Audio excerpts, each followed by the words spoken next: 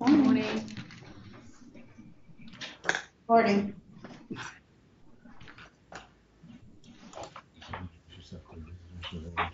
I don't. I'm Joe, and our visitors are who? I'm Karen, and this is my husband Brian. Hi, nice to meet you. Nice Hope to meet you in person at our next social. That sounds good. All right. Um, if I remember correctly, we were at um, we were looking at the church at Pergamos, chapter two, uh, around verse twelve is where we started. Uh, we got down to uh, like verse thirteen, and then uh, I gave you a homework assignment. Is that right? Yes, you did. ah, thank you, Bill. See, I could count on Bill. I knew I could count on Bill. the rest of you, I knew, it, I knew I couldn't count on. That's not fair. All right. Let me just review a little bit. So uh, we got the Church of Pergamos. You remember um, this was a church uh, north of Ephesus, north of Smyrna, uh, uh 20 miles inland. Um, it uh, you'll notice also that it, it's written by it says that he who has a sharp two-edged sword. So again, that's part of the description of Christ uh, that comes back in chapter one when we have the vision of Christ from verse 16, uh, where it talks about the sharp two-edged sword. So here we have uh, the description of Christ here. Again, each of these descriptions corresponds to the problem in the church, right? So in this particular pro- this particular church had a problem with sin, and so he's he's he's bringing out the sharp sharp two-edged sword. It was really a, a judgment. It was really about uh, uh you know because they had this issue, he had to respond to them in that way. Um, and so we'll, we'll, see that more as we get into the other churches. And then we get to verse 13. Uh, so typically with all these churches, he gives them a commendation and then he gives them a condemnation. So in 13, we have the commendation. But he starts it off with this weird statement I know your works, uh, where you dwell, where Satan's throne is. And so my question that I left you with was, what is Satan's throne? So what'd you come up with?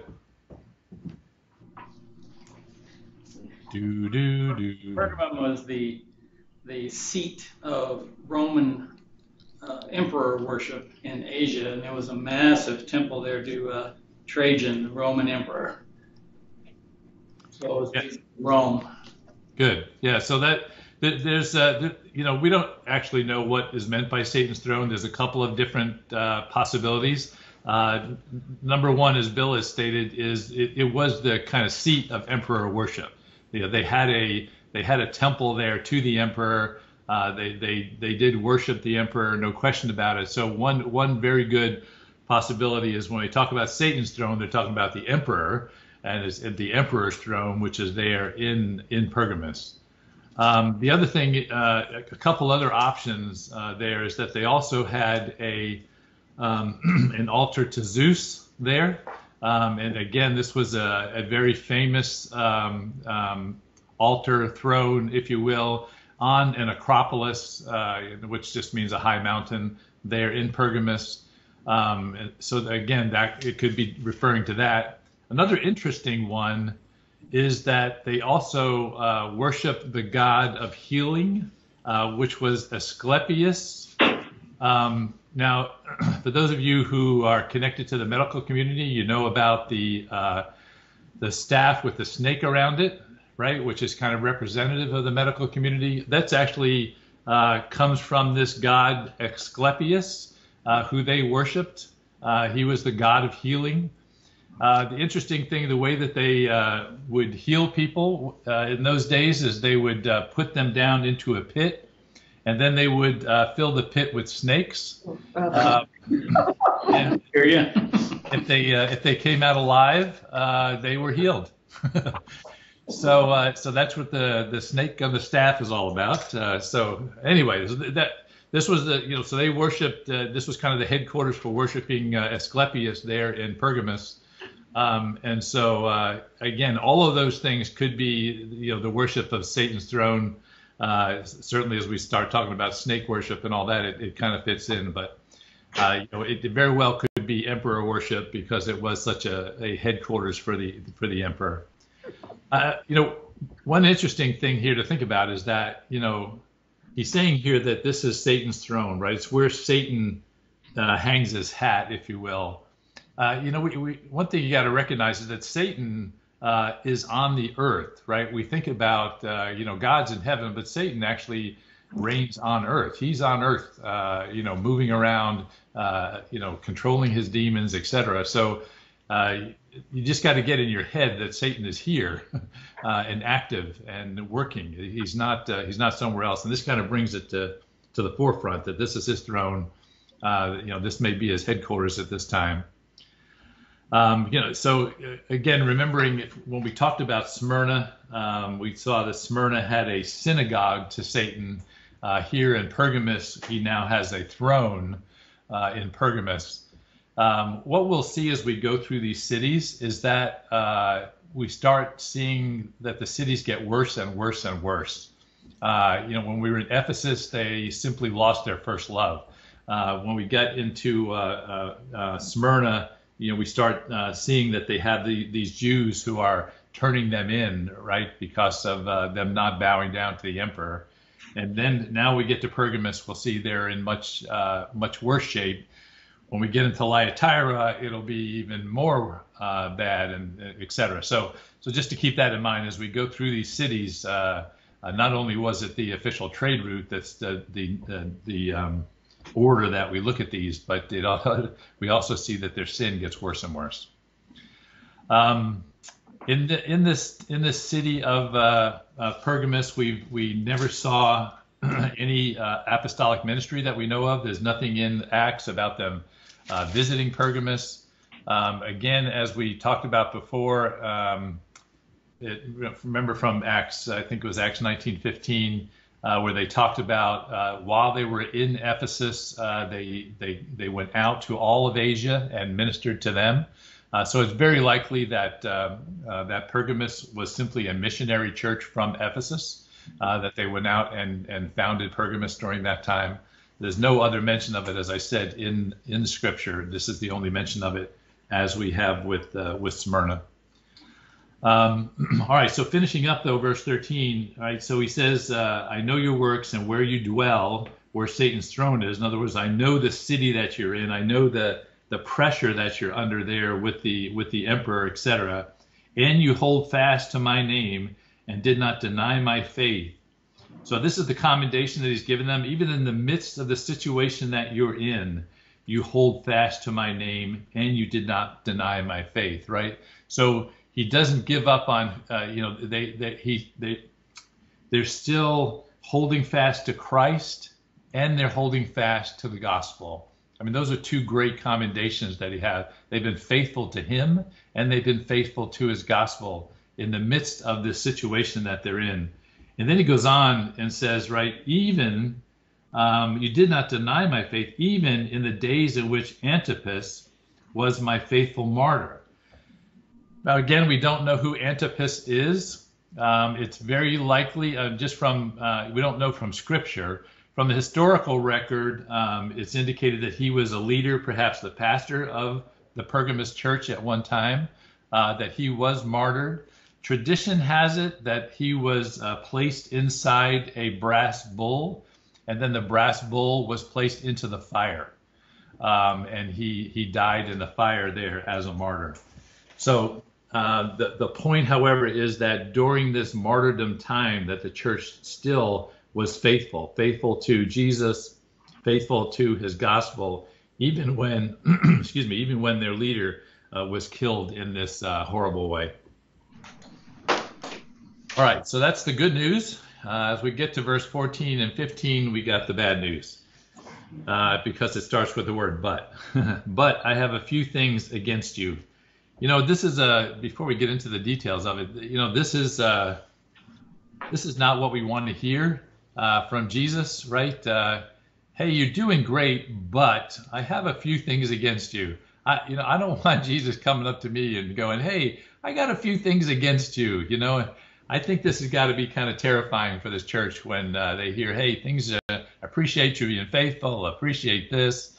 But I have a few things against, against you. I don't think any of us want to hear that word, uh, and this church certainly did not. Anyway, I have a few things against you because you have there those who hold the doctrine of Balaam, who taught Balak to put a stumbling block before the children of Israel, to eat things sacrificed to idols, and to commit sexual immorality. I'm not going to go back and read the whole story of Balaam and Balak. If you want the reference, it's in Numbers 23 through 25, a couple of chapters there where this whole story is. But let me just kind of give you the summary. Uh, if you remember, Balaam was a prophet uh, but essentially, he was a prophet for hire. Uh, Balak uh, was the, uh, the, the leader of the Moabites. Um, he came to Balaam and he asked him to curse the Israelites such that he could defeat him in battle. Um, uh, ba- Balaam tried to do so, but God prevented him from cursing the Israelites, and in fact, he blessed the Israelites. Balak Balak then got very upset, obviously, because his prophet was not doing what he wanted him to do. Um, so he uh, he set about uh, uh, trying to corrupt the Israelites uh, through intermarriage, uh, and in this he was very successful. Uh, he he intermarried um, the Israelites with the Moabites. you know, he he presented his his daughters and his his women of court uh, to the Israelites. They uh, intermarried with them. Uh, they were a very sexually immoral people, and so they brought that sexual immorality to to Israel. And so we and we see here again in verse 14, right? So um, they hold the doctrine of Balaam, who taught Balak to put a stumbling block before the children of Israel to eat things sacrificed to idols and to commit sexual immorality. So he's just he's he's saying that um, this is what happened uh, during Balak's reign. Uh, he used Balaam to do this, and he's saying the same thing is happening in your midst. Uh, there, there are those who hold that doctrine. There are, there are those who are sacrificing to idols and committing sexual immorality in your midst, and you're not doing anything about it. That, that's the real condemnation. You're not doing anything about it. There are people in your midst who are doing this, and you're just allowing it. They're they're saying it's okay for a Christian to be involved in pagan worship and sexual immorality, and you're allowing that to happen in the church. And, and go on to the next verse, verse 15. Thus you also have those who hold to the doctrine of the Nicolaitans, which thing I hate remember when we talked about Smyrna, we talked about the Nicolaitans. They were probably a follower of Nicholas, uh, who was a uh, an apostate uh, within the church, uh, who fell away and pulled away a bunch of Christians with him. Uh, again, his his uh, his problem was against sexual, sexual immorality and sacrificing the idols. Was, so they're saying it's the same the same issue that we have with the ones who are following Balak and Balaam uh, that we have with the Nicolaitans. Again, it's all about pagan worship. It's all about um, sexual immorality. And, and again, uh, his uh, Christ's concern here with the church at Pergamos was they were not dealing with sin. They were they were not dealing with it. They were just allowing it to happen. They were allowed. They knew that there were these people within their church who were doing this, and they were doing nothing about it. So then, verse 16. He says, Repent, or else I will come to you quickly and will fight against them with the sword of my mouth. So he tells them, and he tells the church in verse 16 to repent. What is he telling them to repent of?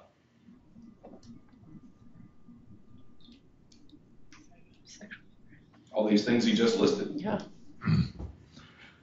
And what was that? Sexual immorality, uh, they allowed um, the sin to continue. The church. Yeah, yeah. Russell actually has it right. Give give Russell the gold star today.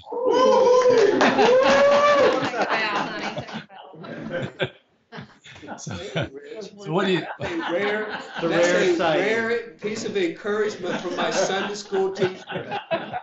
It's also a very quick answer. I had a good week, Russell. I had to give you a little pat on the back. There. Um, so yeah, the, the I I wanted to make that point clear. What what he's asking them to repent of is that they were not doing anything about it, right? It wasn't he wasn't talking to the people who were in sin. He was talking to the church who is allowing this sin to go on. Uh, you know, recognize that that is a sin. it's a sin for us to allow uh, to allow sin within the church, to allow people not to be confronted because of their sin. Uh, that that is what Jesus is really concerned about here at Pergamos, is that they were allowing this sin to happen. I just think that's a that's a wake up call for us, right? That that you know it's not just about you know if we know that there is sin occurring, that that's got to be confronted. And you, and you know that you know if you go back to, to Matthew, right? He tells us exactly how to do that, right? Go and tur- go and talk to the person individually. If that doesn't work, bring a couple of witnesses. If that doesn't work, bring it to the church, right? He's saying you got to go through that process. I expect that of you. If you know that there is someone in sin in the church, you need to go and take care of that. If not, you're in sin. That's his point here. You need to repent of that. That makes sense? Paul addressed that same issue in, to, in his first letter to the Church of Corinth in chapter 5 when he talks about the young man who's having that affair with his father's wife. And Yep, yep. Ignoring it, wasn't doing anything about it. So I was sa- I was saving that verse till later, Bill. But well, uh, Sorry. yes, you're right. Didn't mean to steal your thunder. Spoiler alert. Oh, that's that's right. That's exactly right. That's exactly what's going on. And we'll see when we get to Thyatira. That's where I was going to bring that verse up. Uh, the situation gets worse, and uh, and and they're doing essentially the same thing. All right. So very good. So um, you know, so look what happens. He says, if uh, you know, if you don't do something about it, I'm gonna I'm gonna come against them. Right. I'm gonna bring the sword of my mouth against them. I'm gonna bring judgment upon them if you don't do anything about these people. Um, you know, so uh, in my mind, it's you know, if you care for these people, if you love these people, if you are concerned about them, you need to confront their sin. Otherwise, I'm uh, otherwise Jesus says I'm going to have to, right? I'm going to have to come down hard on them if you don't go and try to restore them, if you don't and try to uh, pull them back because of the sin that they're involved with. So I think that's an important word for us today. All right, and then he ends up in uh, in verse 17. He who has an ear, let him hear what the, the Spirit says to the churches. Again, that's repeated after each of these churches. And again, in my mind, that just says, listen. This is serious business. Listen, listen. This is serious business. and then he goes on to he whom overcomes, I will give some of the hidden manna to eat. I will give him a white stone, and on the stone a new name written, which no one knows except him who receives it. So this again is repeated several times in these verses. He says, To him who overcomes, and who is that? Jesus. Come on, quicker answers. Let's go. Believers. The world. The believers. It's believers. It's believers, right? If we go back to uh, uh, uh, the verse in John where he talks about uh, those who are overcomers or those who believe. Uh, so these are believers. He's saying all believers this is true of. He says, so he says, To him who overcomes, to the overcomers, to believers, I will give some of the hidden manna to eat, and I will give him a white stone. So, first of all, what's the hidden manna? Jesus. Jesus. Good, quick answer. I like the speed. Why do you say Jesus? Because you said that the other day. and I had Yeah. Is that quick enough for you? I have it also. So, so, so, uh, so you're right in that it is Jesus. Um, but what is it? What what is hidden manna about? What's the story behind that? Anybody remember? I have John six thirty three through thirty five in my notes, so I don't.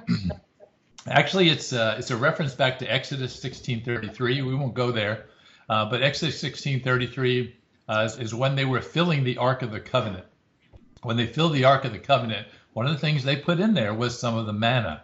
So this is what this actually being referred to there is the manna that was hidden away in the Ark of the Covenant, and that again is it, you know it's the bread of life. It is a uh, it is a sign of Christ. Uh, so yes, he, he is saying that you will get Christ. You will get uh, you will get him if you overcome. You will get Christ. That's really what he's saying there. you will get the hidden manna, and then he says also, and I will give him a white stone, and on the stone a new name written on it. Okay, so what's the white stone?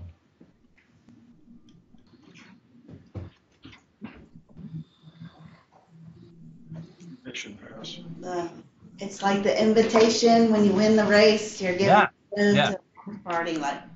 To be. Yes. Did you remember that, or did you find that at the bottom of your notes? No, I asked one question I answered before that I got right. That's not. You answered. That is correct. We dealt with this before in Daniel. It was one of the things that uh, that, that, that Daniel brought forth. So the white stone. Uh, so when in those days when they had uh, the games, right, whether they the Olympic games or whatever, uh, when you won, uh, you know, you got the wreath that you put on your head, but you also got a white stone, uh, which could have been any kind of jewel actually. Uh, and on that stone, they wrote your name, and that became your pass into the into the festival. Sorry, some kind of destruction going on in the other room, or construction. I'm not sure. Anyway, they gave you this white stone with the name on it, uh, which was your pass into the festival after the games. And so, so it's a beautiful picture for us, right?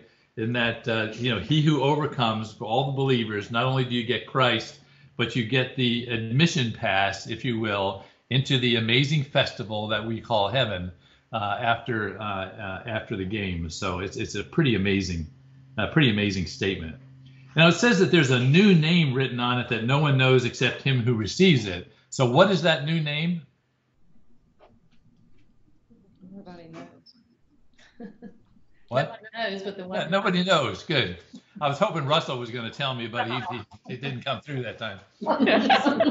You get no white stone today, brother. All right, yeah. So we, we don't know what the what the name is, but uh, you know each of us will receive a receive a stone. It'll have our new name on it uh, in glory. It's going to be a pretty amazing experience. So uh, that's really all that's being said there. All right, so that is uh, Pergamos. Any comments or questions about Pergamos before we move on to uh, Thyatira? Welcome, Walter. Two. Got a Walt and a Walter. And All right, uh, Thyatira, verse 18. Yeah, and you too, Susie. you, Susie. She's hiding. She's one of my uh, puzzle problems. I can't, uh, can't welcome. One of my problems too. All right, Thyatira. Let's get started. Verse 18. We won't finish this today, but we will get into it and uh, see where we get to. So first of all, Thyatira. Um, so as I said uh, when we we're looking at Pergamos, uh, Thyatira is, is essentially you take the problem that you had in Pergamos and you multiply it by 100 and you've got Thyatira. It's all the sin in full bloom. Uh, everything that he was worried about in Pergamos, where you had a few people that were following after the uh, this idol worship and sexual immorality, you now have a large portion of the church in Pergamos who are absorbed in the sin, and frankly, they're just fine with it. They just think it's no big deal. Uh, this is the longest letter that we'll see. Whoa. Sorry, just something just happened on my computer. Okay, ignore that. Um, this is the this is the longest letter uh, written to the smallest church uh, here along the along the path. So.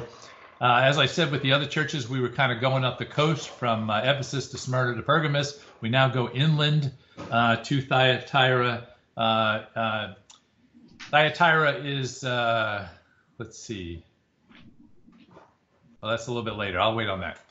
Um, yeah, so they've tolerated this sin. Uh, you will hear here about this uh, woman of prominence who is teaching in the church and giving us trouble. Here we go. up and down. Um, so what you have here is both. Uh, it's an interesting way to look at it. Is both spiritual adultery and physical adultery, right? You have uh, spiritual adultery with regard God, with regard to uh, their um, worshiping of idols, and then you have the physical adultery with the with the sexual immorality. And again, they're not dealing with it, right? They have large number of people who have fallen into this sin. And again, you can see again this progression of uh, you know worsening sin as we get into it. You'll see as we get down a little bit further, they talk about these folks are now into the deep things of Satan. Uh, it's gotten pretty bad. All right, let's so let's look at verse verse 18. Until the angel of the church of Thyatira write, These things says the Son of God, who has eyes like a flame of fire and his feet like a fine brass. So again, let's look at this description of Christ that is pulled out here. again, this is not a fun one, right? Eyes like flame of fire, feet like fine brass. If you go back to our um, our uh, discussion of chapter one, what was the uh, what was the point of the eyes like flames of fire and feet like fine brass? What was the big deal about those things? What did they represent? Is it that he sees our thoughts and intentions? He Right. And that's right. And mm,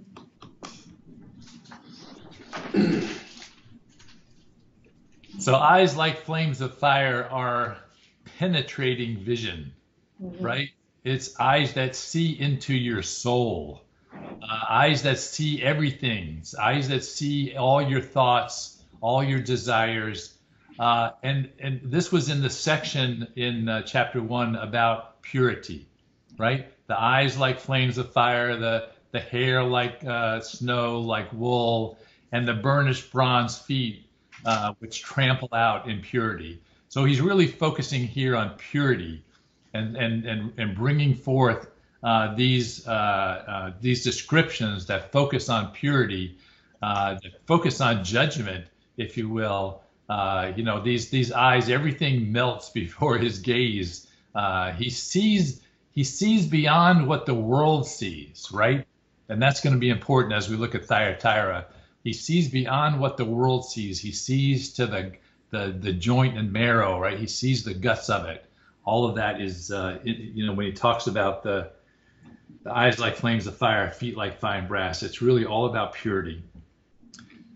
Um, so let's just talk about the city a minute. So, so Thyatira, again, was a relatively small city. Uh, it was inland. It was in the bottom of a valley. Uh, it was um, it was the pathway that all of the conquering nations always used to take to get to the water. Um, so if you wanted to get to Pergamos, you would go through Thyatira. Uh, and again, it was just kind of a stopping place for the armies. Uh, they would uh, beat up on the people there. They would take over, and then they would go on to Thyatira, which was the real jewel. Uh, it was the capital city, if you remember. so Thyatira, uh, they constantly had people uh, controlling them, taking them over, and and, and you know being and being in charge of them, if you will.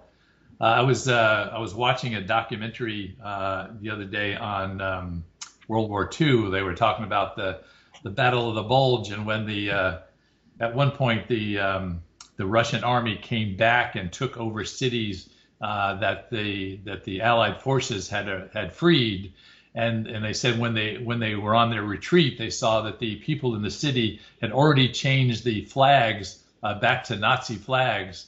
Uh, recognizing that they they were going to come in and get taken over again. I think this is the people of Thyatira right? They had another somebody coming in to take them over, and they tried to live within that situation that they were in. Um, but again, it was uh, it was a commercial city. Uh, it was known for its wool. It had a dyeing dyeing, uh, you know, making dyes. Uh, they dyed material. Uh, they had a the largest number of trade guilds in the city, which becomes important because each of the trade guilds had their own god. Um, and, and if you were in the trade guild, then you worship that god. Um, uh, and if you wanted to be in the trade guild, you had to worship that god. So if you wanted to work in the city of Thyatira uh, in one of the trades, uh, that meant that you would have to worship one of those gods. And see, and we'll get back into that in a minute. So this is one of the issues that they have here. Uh, Thyatira is still, now, still around, has a different name. It's got about 25,000 inhabitants. Inhabitants. Uh, so again, a relatively small city. We do have one reference to Thyatira. If you go back to Acts chapter 16, there.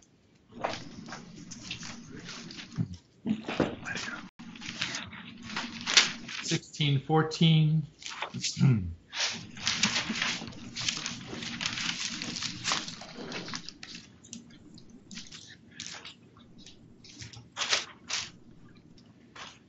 Acts 16, 14, it says, Now a certain woman named Lydia heard us. She was a seller of purple from the city of Thyatira, who worshiped God. The Lord opened her heart to heed the things spoken of by Paul. And when she and her household were baptized, she begged us, saying, If you have judged me to be faithful to the Lord, come to my house and stay. And so she persuaded us. So this is uh, this is Lydia. She's from Thyatira, as you mentioned. She was a seller of purple, right? So that that fits in with this idea that they were uh, they were in the dyeing business, uh, not a dyeing business, but they were dying in the business. I I don't know how to say that right. Anyway, you know what I mean. They're made dyed purple. Uh, she was from Thyatira. Uh, so here she's been, uh, you know, she worshipped the Lord, but now she has been, had her op- eyes open to the gospel, and she asked the, um, uh, you know, she asked Paul and his group to come to her city, and so it's very likely that this is when the church at Thyatira was born. Uh, that that uh, Lydia brought Paul and his group back to Thyatira. They founded the church there, probably in her home, right? It's a home church, uh, and and and Lydia was probably the founder of that church. So that's about all we know about about uh, about uh, the beginnings of the church. Is from that uh, one verse there, uh, two verses there in uh, in Acts. All right, so let's go on then and look at the common uh, the commendation for Lydia, which there's not much of, but it's in verse 19. So again, he says, I know your works. That's a consistent message that he has to all the churches. And again, we've, we've spent some time on that, but he knows your works. uh, just as he knows these churches' works, he knows your works. Says, I, I know your works, love, service, faith, and your patience. And as for your works, the last are more than the first. So this is a pretty nice commendation that he gives to these, this church, right? I know that I know of your love. I know that of your charity. I know that you have love for one another. I know of your service, that you're doing things, that you're working in the community, uh, that you're helping people. I know of your faith, which might better be um, translated faithfulness. Right? I know of your faithfulness. You've been consistent. Uh, you've stayed with it. I know of your patience or perseverance, your endurance, right? All of that. Um, and as for your works, the last are more than your first. In fact, you're doing more works now. You're, you're doing more service now. You're even, even more involved in the community now. The, the community has has a has you in a great reputation, right? They they look at you as a church and say, "Wow, this is a great church. They love one another. Uh, they're they they persevered. They have uh, they they serve the community. Uh, this is a really great church. So they have a, a great reputation in the church. So that's the commendation. However, there comes verse 20. uh, mine starts with nevertheless, uh, you know, could just say but, uh, but I have a few things against you. So again, that statement has just got to cut them to the quick, right? They're thinking, man, we are this great church, right? Everybody loves us. We're doing all this stuff, but I have a few things against you. Because you allow that woman Jezebel, who calls herself a prophetess, to teach and seduce my servants to commit sexual immorality and to eat things sacrificed to idols. So, who is this woman Jezebel?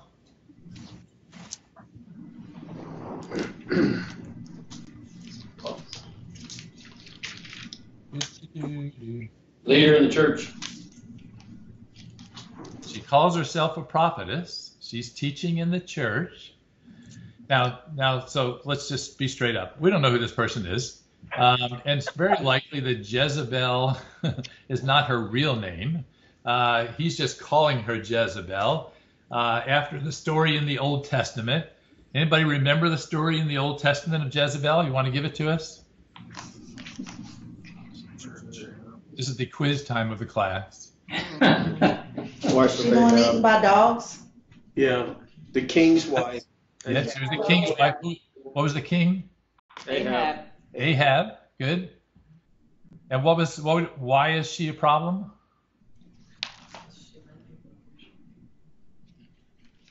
Well, she had all the prophets of Baal and uh, killed all the uh, all of the uh, legitimate prophets. Right. And then did what? That's right. And then Then pre- she pursued Elijah after Elijah killed the 400 prophets of Baal after the uh, uh, God had brought down uh, fire and uh, consumed his. Uh, uh, when he had the contest between the prophets of Baal and, and, uh, and Elijah uh, consumed his uh, altar. Yeah, and then she went on to lead the rest of the Israelites to commit sexual immorality and worship idols. Right. So that, so that's what so that was her main thrust. She was uh, you know Ahab was uh, a terrible king, but when you connected her and Jezebel together, they were a real force uh, that essentially turned all the Israelites uh, to uh, false religion, to worshiping idols, to committing sexual immorality. And you do remember that this whole issue with worshiping idols was that they were often connected to sexual immorality, right? It was part of the worship, was they had, uh, you know, they, they had um, uh, females that were there to, uh, uh, to, to, in order to worship, you had to commit a sexual act.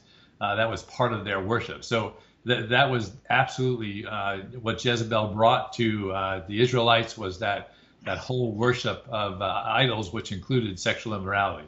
So, so here what we have in uh, in verse 20 he's saying similarly you have a Jezebel there in your church and that Jezebel who calls herself a prophetess is teaching uh, teaching my servants teaching and seducing my servants to commit sexual immorality and to eat things sacrificed to idols so she's doing the same thing that she, that this that the original Jezebel did uh, was that was you know she's leading them into idol worship and sexual immorality now it, look in the middle of that verse. It says that she's teaching and seducing my servants to do that. Uh, is it is it possible to lead Christians astray? Yeah. Mhm. Yeah. Yes. If it's a social, socialized thing, I mean, if the government gets involved to make, make you do certain things, you know, it impacts everybody. That may not be the answer you want, though. Otherwise, otherwise, Russell, we wouldn't sin, right? Just only only government makes us sin. No comment. First Corinthians chapter six, just to remind you. First Corinthians chapter six, verse fifteen.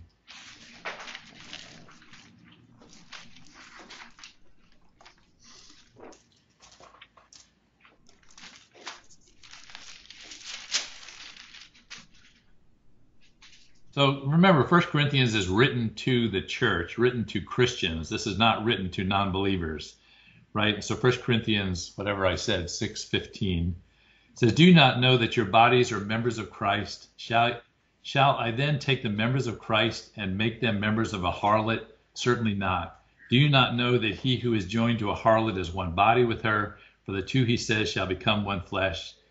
So he is dealing with the same issue, and, Bill pointed out earlier, we- we're dealing with the same issue in Corinthians, uh, with the Corinthian church uh, uh, in Paul's day, that we're de- dealing with the Thyatira church in, uh, uh, you know, 40 years later, uh, when when John writes Revelation. You've got these folks who are um, having sexual sin with with harlots. You see the same thing here. So yes, you can lead Christians astray. Yes, uh, Christians still sin. Uh, no question about that. Now, I will ask you this, and, and, and Russell, this may be closer to really where you were going, um, and, and that is that how in the world could this woman teach these Christians that this was okay? Right? Somehow she is corrupting these Christians and saying it's okay for you to commit sexual immorality. It's okay for you to, to do idol worship. How is she doing that? By making it a law that you have to do it. How? What, what do you mean, Russell?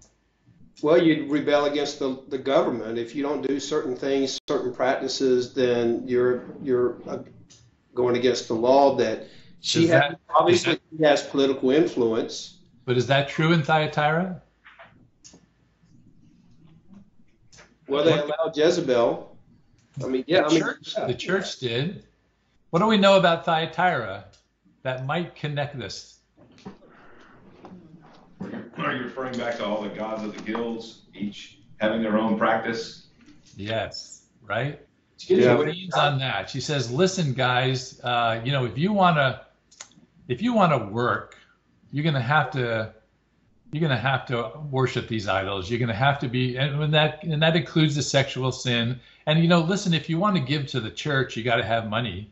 Uh, the only way you have money is you got to have to work. So you're going to have to get into the sexual sin so that you can support God's work. Right? Can't you see that? Yep.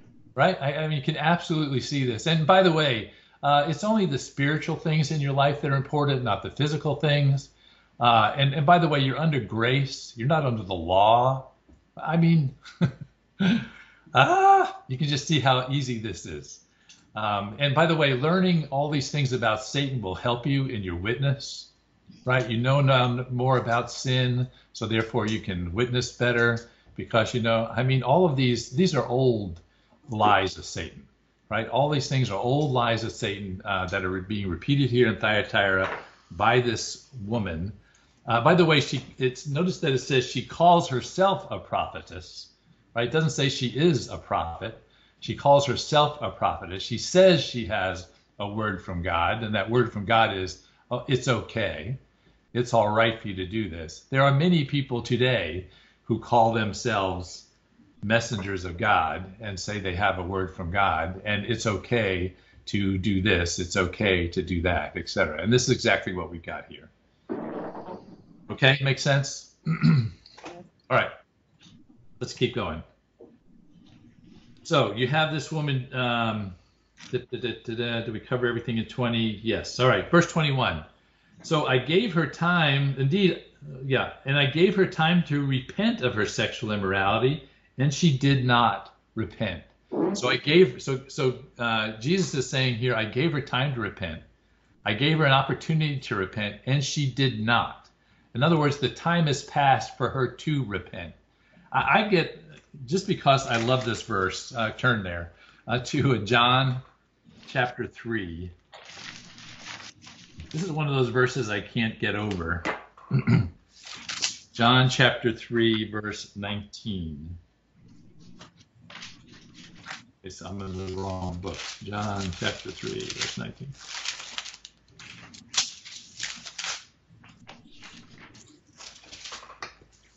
Right? 319.